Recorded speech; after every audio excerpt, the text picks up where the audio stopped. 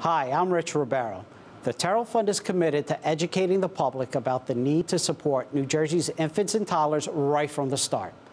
That's why we're proud to support the important early childhood programming produced by the Caucus Educational Corporation. Funding for this edition of Caucus New Jersey has been provided by New Jersey Resources, the Turrell Fund, supporting right from the start NJ, RWJ Barnabas Health, Verizon, NJM Insurance Group, New Jersey Sharing Network, dedicated to saving lives through organ and tissue donation, and by the law firm of Gibbons PC. Promotional support provided by NJ Advance Media and by the New Jersey Business and Industry Association.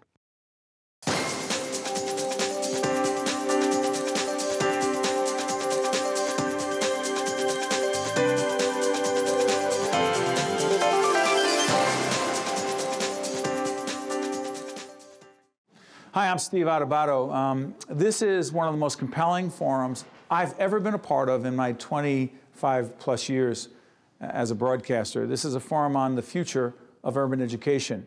Um, if you caught the last one, you'll appreciate what we're about to do. If you haven't caught it or didn't catch it, go back online. You'll see our website. You'll see the first part of this. Senator Ruiz, as the chair of the Senate Education Committee, you uh, deal with parents, you deal with taxpayers, you deal with citizens from every kind of community in this state. And New Jersey is not representative of the entire nation because there are other kinds of states, but at the same time, to what degree do you sense that folks outside of cities care deeply about the education of the children in those cities? It's a difficult question to answer in the sense that school districts across the state of New Jersey for a very long time have been flat funded or, or not given uh, the, the support services from the state from the state that they've needed. And so when Newark and Jersey City and Paterson make headlines and they see the dollar amounts being spent and the outcomes, I think creates an, a resentment that is not understood in the way that we're having this conversation. Define that here. resentment. Hey, what are we doing? Spending all that money, sending all of our hard-earned tax dollars yeah. to Newark, to Jersey City, to Camden, to Paterson, to, and what are we? What are we getting out of that? Now that may not be 100% accurate, but it isn't that far off from what some folks watching right now either say publicly or think privately. You said, but but the, but the key is to understand that the greater success of our biggest cities, the greater success of our state. Mm-hmm. Yes. The greater success we have with every child in every classroom, the greater success we have them as a taxpayer. Absolutely. And so that makes us all invested. it's in their self mutual. It makes everyone's us interest. all invested. But I, I but I need to go back Go ahead, to the law. Superintendent, I'll get you as well. Go ahead. Because because we did start this conversation between char- and I'm, and I'm pro charter between charter and schools, and we don't want to talk about them separately together. We do need to revisit the fact that it started on a mission of innovation, right? Mm-hmm. Charter And- schools. right? And there are things that work phenomenally well that unfortunately or impossibly have not been transferred over 100% to traditional schools. What we need to focus on is how can we transfer those best practices to be sure that if there's a Saturday Academy working somewhere, that we can offer that Saturday Academy in every school across the state. Even if if it's a there is a public school? longer extended day in one school facility that we're doing it. And I know we're replicating it in certain schools, but there are things that are working. And that's where the focus should be more importantly is how can we really transfer those best practices? And some of them will require some legal hurdles and uncomfortable conversations and rolling up sleeves and figuring it out with all partners to be sure that everybody gets what they need at the end of the day to accomplish that. Superintendent. So uh, I, I, as in most things, agree with uh, the, the senator. But I, the reason that that resentment exists out there, I believe, is because uh, the resentment about sending funding to the, to the urban uh, core. Uh, I don't think anybody, when they really understand the issue, would say that a child should get less of an education, less of an opportunity, simply by virtue of the fact that he or she is born into a city with lower tax ratables, right? And that is exactly what would happen if you had a funding system based exclusively on local property taxes. It would be unjust and unfair. What happens is when someone wants to get to a better school historically, they buy a house or rent a home in another district where they believe they will get a better educational opportunity. The reason that is really, really important is that wealthy people have choices about what they are going to do. And, they, and by the way, a system uh, that has often been imbued historically with explicit racism in terms of access to mortgages, in terms mm-hmm. of where the housing projects are built, and a variety of other things, has perpetuated that kind of separation. So the reason I get worked up about this is that you cannot say that we support any kind of system of equality or justice unless you try to neutralize those deeply embedded historical forces by getting equal funding, at least. Equal funding. at least at equal least. To, to children who are born into an impoverished Do you circumstance. believe that, by the way, as we do this program, our new governor is taking over in the state of New Jersey, Governor Phil Murphy. Do you believe he's committed to doing what you just said? Uh, he has said on several occasions that he is committed to fully funding the, the formula, which we'll, we'll, leave for another day what that means.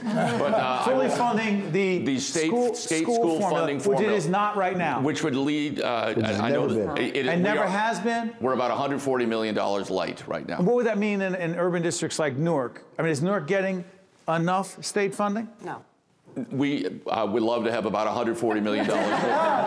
okay. On the question, and I know it's somewhat of a philosophical question, but the larger question of to what degree parents outside of, mm-hmm. taxpayers outside of urban areas care deeply about urban children has something to do with the political question and the political will of those in power to send more state dollars to urban areas. And the answer is clearly not just money itself, but without those resources, I know this is complicated, but if there's not the will on the part of others to care about and send dollars behind it. How are we ever going to get the fuller, more funding of public urban schools? Boy, that's the billion dollar question. Well, uh, go ahead, you know, I mean, take and, a shot. And the follow, I mean, you know, as you know, the Abbott case began in the 1980s. The Abbott case, there were, I believe, uh, the, the, original number, I don't remember, is the original number of school districts that argue before the state Supreme Court. 37. Um, 37. It actually started before Robinson versus Cahill. Exactly before right. that. Yep. The Abbott case, these are districts that were getting the shaft in their mind, and the court, the Supreme Court had to decide on this question. Go ahead. And, and it's been really difficult for the legislature to meet the demands of the courts that have said, look, we have a, we have a constitutional mandate where kids, all kids in this state deserve a thorough and efficient regardless, regardless education. of zip code.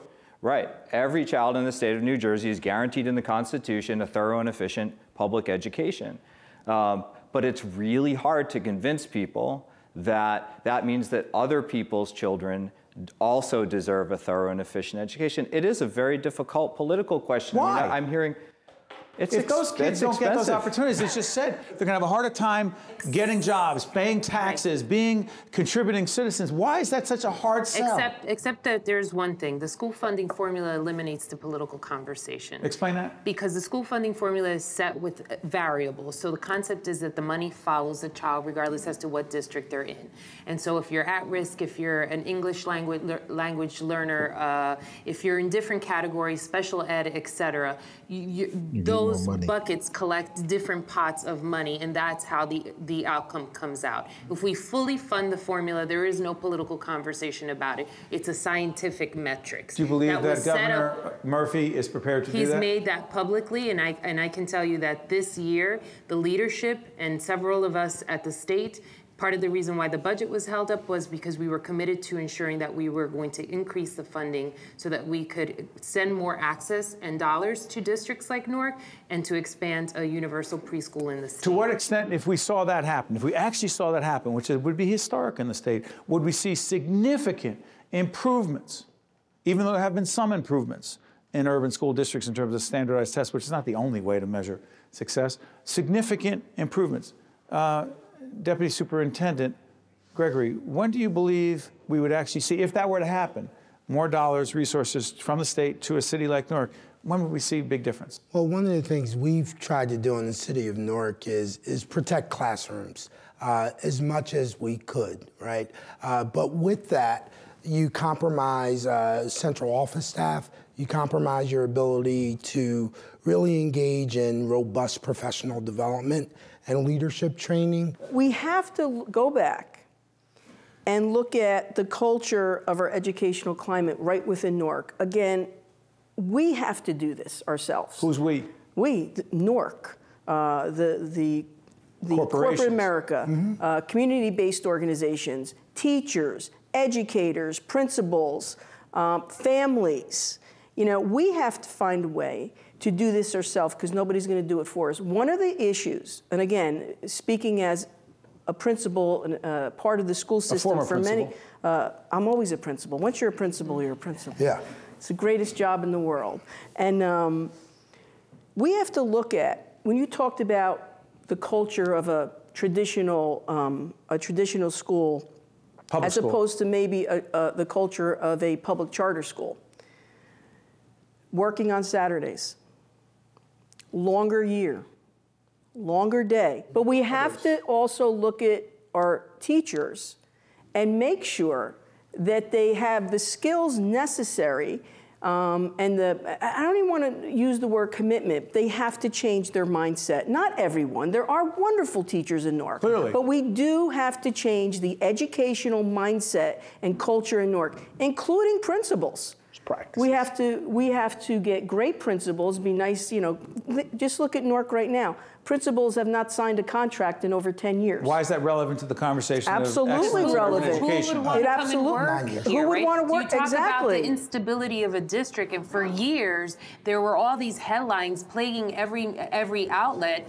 Who everyone was trying to just get out and try and get a job somewhere else. Who would want to come and apply in a district where you already know you're going to have challenges within a classroom that could be strapped for resources that that had some kind of an instability coming from central office? The, the paradigm is shifting, but that's why I think it's so important. But to something that Michele said, and since we have Rutgers here, we have to look at our higher ed institutions and move away What's from their role in terms of urban because education? they're they're preparing the next generation of teachers in a classroom and we have to move away from theory book practice and and our students that are in college have to spend way more time in a classroom before the day that they first collect a paycheck. One of the signs of great progress and hope is that 95% of our teachers who were rated effective or highly effective chose to return to the traditional Newark public school system last year. This year, we opened school with 99% of vacancies filled. We actually keep track of the number of applicants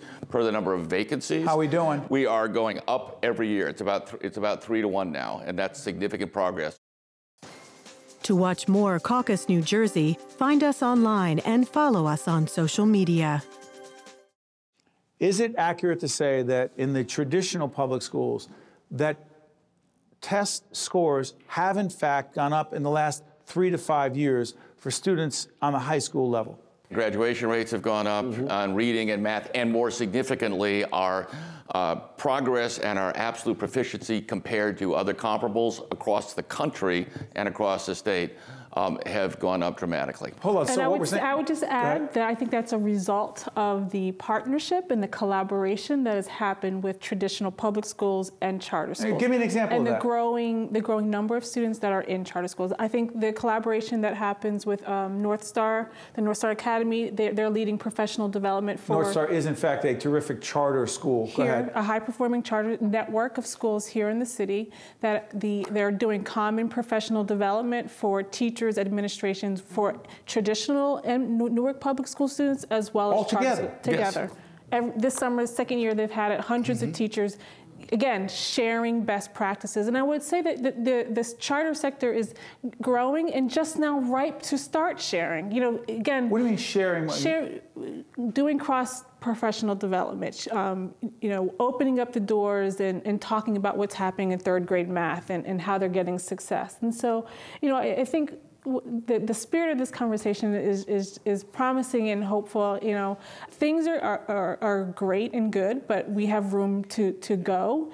And I, I just want I want to make sure we don't get lost on like complaining and problems. And, and we are moving forward. Exactly. There are a lot of systemic changes, like a common enrollment system, happening in Newark. And you know, the, I think the time is right, and, and I just don't want to lose that. And, and then, Mr. Mayor, I'm going to come back to you again, Sarah. There are a couple of initiatives that you're involved in, that Prudential's involved in as well, that really have to do with creating more opportunities, collaborations, partnerships. It's a summer youth employment initiative. How is that tied to urban schools? Well, obviously, uh, you know, we, we've expanded summer youth employment from about 1,000 kids to about 2,800 mm. uh, kids. Uh, we're poised next summer to go over 3,000. Um, and, and, and these are kids that are coming from before it was you had to have a certain GPA, you had to have this. Now we take everybody and we've uh, kind of, you know, streamlined the programs and made them more robust. You know, we've involved the universities, we've involved the corporate sector, you know, we have metrics. So kids are getting a greater experience in the summertime, uh, you know, a greater academic, social, economic experience. Mm-hmm. And it also puts a little money in their pocket at the same time, which also helps their family out. So I think that that is an incredible opportunity for us. And we do it with all of the corporate partners in the city. Partnerships. Could you just describe one unique, important partnership that involves the Newark urban schools that Newark public schools that we have not mentioned that your organization is involved in, which would be helpful. Go ahead. One of the partnerships that I would mention is our focus on opportunity youth that the district youth. and uh, community-based organizations have all focused on. So Opportunity Youth are young people between the ages of 16 and 24 who have either dropped out of school or are not working. And so these are literally the most disenfranchised, at-risk young people. And the phrase of Opportunity Youth is something that the White House has pushed out under President mm. Obama's administration to really show the potential of these young people and that mm. they're not somebody who has a dead end in terms of their careers. And what the school district and community-based organizations like Youth Build Newark and Youth Build Newark has now created this Opportunity Youth Network have done is really focused on the 6,000 young people here in Newark who are not in school and not working. And how can we get them back S- into say school? Say that again.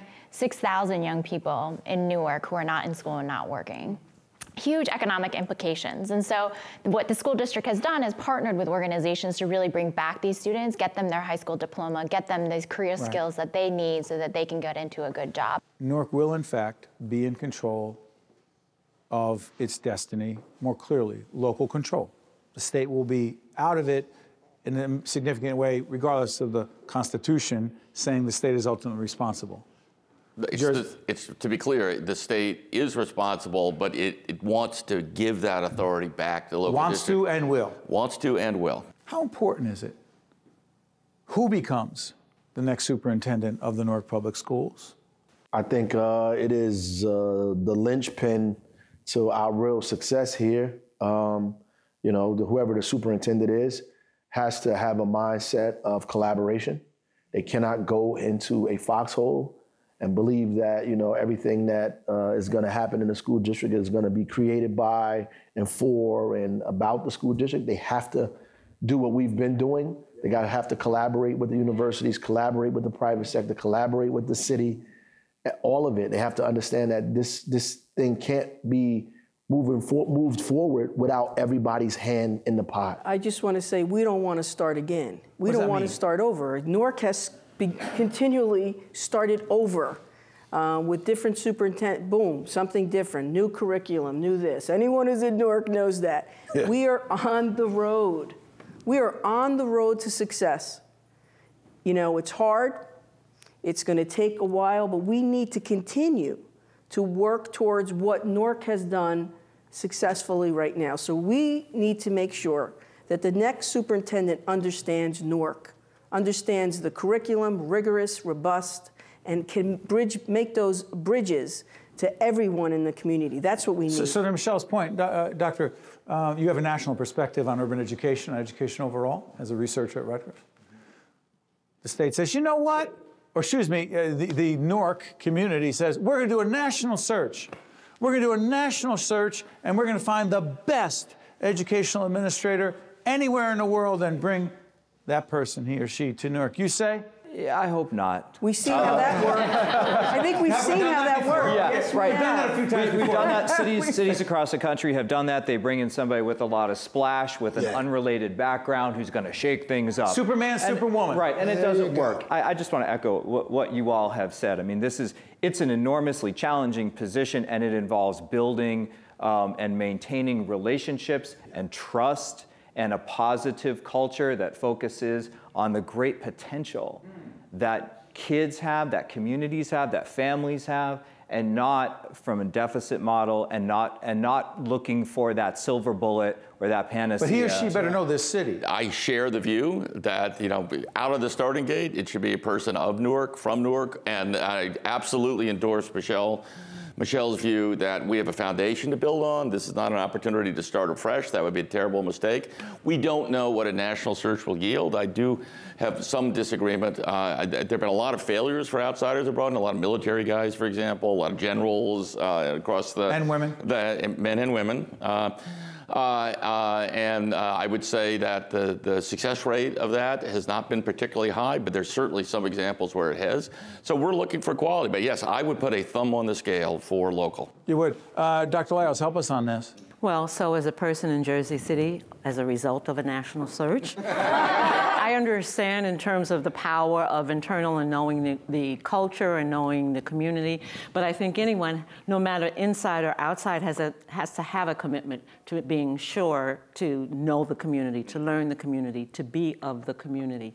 When I came to Jersey City, part of, I mean, I actually come from New York City, and so it's not that far. You know, and people said, oh, you've, but Jersey City is very different. Well, there are certainly every every district is very different. Mm. Every right. district has its own, but there was has its own everything. Everything, Community, but there politics, was a there was a clear affinity um, in Jersey City around a commitment to children, around wanting to transform their their schools, um, and so it was really simpatico for me. And one of the things that I think is important is that it has to be that when you talked about that shared vision, it's mm. got to be a shared vision, and it can it can come it can come from outside, but knowing you know you don't have to start up. It has to be someone. And it's great that everyone we're happy about it. It has to be someone who has courage, yeah. right? Find courage because it, it, to, to, stand up and to stand up and be alone in certain circumstances, because the challenges ahead facing us are still extraordinary. And so while we will need that network of support behind that individual, it has to be someone who has demonstrated the ability to to to move academically. The professionalism exactly. in their resume has to speak volumes. But in addition to that, it has to be someone who will have the ability to be courageous in their efforts without being divisive in the community. But Robert, what about if some if that is that person? I'll come back to you. So what if uh, that person catches heat? I mean, real heat from community members, from other constituencies for trying to lead in the way he or she believes. The focus has to remain on children. That's exactly You have to be results driven. This is not about giving a good speech or a good PowerPoint. We need a leader who has gotten results in this community, can prove it, has done it for decades, and focuses on students. Period. Michele? I was going to say we have to be unapologetically committed to every mm. single student mm-hmm. in the city, regardless of their zip code, regardless of their learning style, creating a high quality education where every single student has access to a great teacher, mentor, role model where they can be their best possible self. Mr. Mayor, as we uh, wrap up here, I'm going to ask you something. Timetable that you perceive or you know, in fact, to be the case for the city of Newark to be fully in control of its destiny? And how confident are you about that destiny? I think it's sooner than folks imagine, right? I think that the next year, uh, you know, we when we're doing this program at the end of 17, you mean 18 when it's seen. Go eight, ahead. 18, yeah. I, I, think that that is, uh, you know, the year that, that this stuff is really going to, uh, to happen. I think uh, one thing that we have to not be afraid to say that uh, education in these cities is expensive. Mm-hmm. It's expensive, and I, and I think that we run away from that. Uh, it's to to get us to this place where we are now, where there's been serious dysfunction, has been expensive. More expensive than suburban districts. Yeah, it's extremely expensive. People pay with their lives here. They pay with incarceration. They pay with unemployment. They pay with all of these things, and then all of those social issues. The state is paying for it anyway.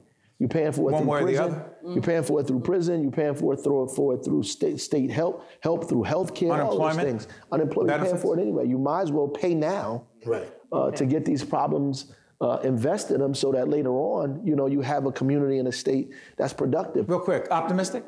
I'm Urban very, education very in Newark and America, go ahead. Extremely optimistic because? about, uh, one, because our kids are beating the odds and doing better than other kids of the same demographic, not just in the state of New Jersey, but across the country You know, even if you control for, for charter schools, right? So even if you control for charter schools, NPS students are outperforming many students around the country. Chris, sir? I believe that we do not have a fully developed, successful birth to age three or age four system here. Correct. And if we don't get that right, uh, we are not going to ever get the K to 12 right. Final comments. We've got a great support group right here in this room. We've got a great mayor. We've got a fighting senator. We've got a superintendent that have moved that has helped us move. So we're going to move from pockets of excellence to excellence for everyone.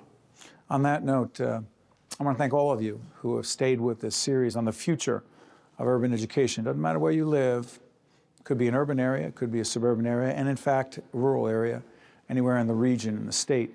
Um, as was said by many folks here, the children of Newark, the children of urban communities, what happens to them, what happens for them, what we do for them, isn't just for them and their families, it is for all of us. So on behalf of everyone on public television, FiOS, and all the platforms we are seeing, we thank you for being with us. The preceding program has been a production of the Caucus Educational Corporation, celebrating over 25 years of broadcast excellence. Funding for this edition of Caucus New Jersey has been provided by New Jersey Resources, the Turrell Fund, supporting right from the start NJ, RWJ Barnabas Health, Verizon, NJM Insurance Group, New Jersey Sharing Network, and by the law firm of Gibbons PC. Transportation provided by Airbrook Limousine, serving the metropolitan New York, New Jersey area. Caucus New Jersey has been produced in partnership with TriStar Studios. NJM Insurance Company has been serving New Jersey policyholders for more than 100 years. But just who are NJM's policyholders? There are medical care and emergency management providers, service professionals, men and women that move us and the goods and products we use each day, and New Jersey's next generation of leaders, the people who make our state a great place to call home. NJM, we've got New Jersey covered.